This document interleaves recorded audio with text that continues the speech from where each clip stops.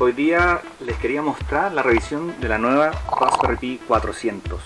Este nuevo modelo acaba de salir y la Fundación Raspberry Pi nos acaba de hacer llegar esta maravilla.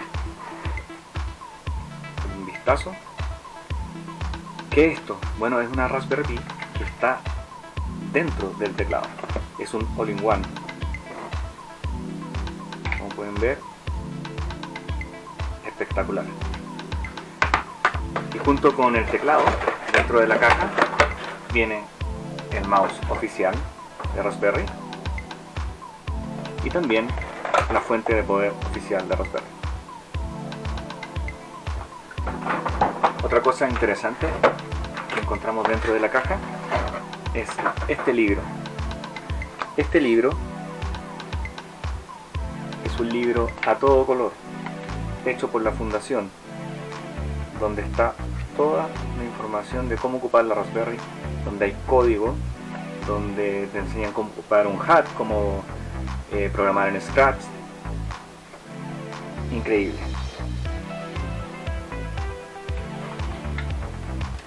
¿Y qué es lo que más me gustó de esta versión? Voy a sacar esta caja de acá. Es que es una versión súper, súper liviana. Y la verdad que comparado con una Raspberry que tenemos acá, casi no nos ocupa espacio. Entonces es súper cómodo para trabajar. ¿Para qué nos sirve esta Raspberry?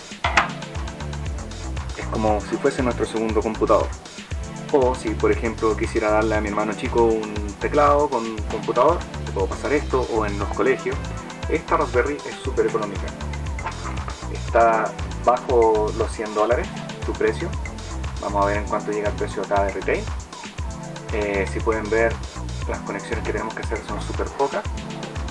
Una de las cosas que más me gusta es el espacio que uno se ahorra, porque la verdad es que no necesitamos espacio adicional.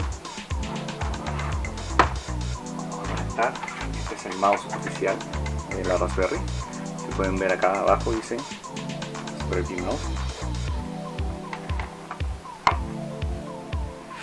Y acá atrás de la, del teclado tenemos tres puertos USB.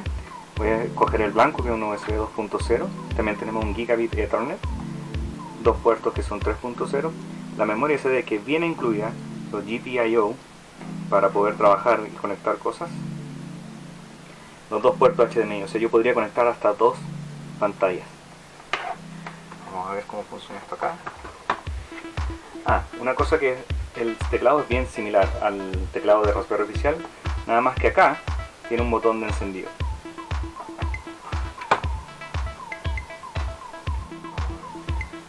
pueden ver acá tiene un LED que va marcando el fondo cuando está cargando.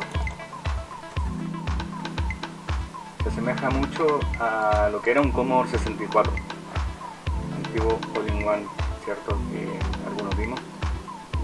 Eh, solo conecta los cables y ya está funcionando. Me gusta, como les decía, es el espacio que me logra ahorrar, porque básicamente son tres cables los que tengo que conectar.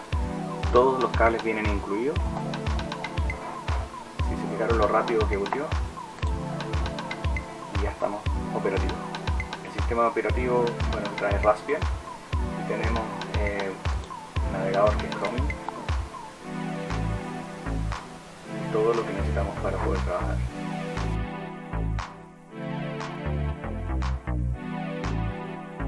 Diferencia de tamaño en el futuro. Si yo quisiera conectar mi Raspberry Pi, igual necesito un montón de cables y necesito en un montón de espacio. Esto quedó espectacular para poder trabajar sobre el escritorio.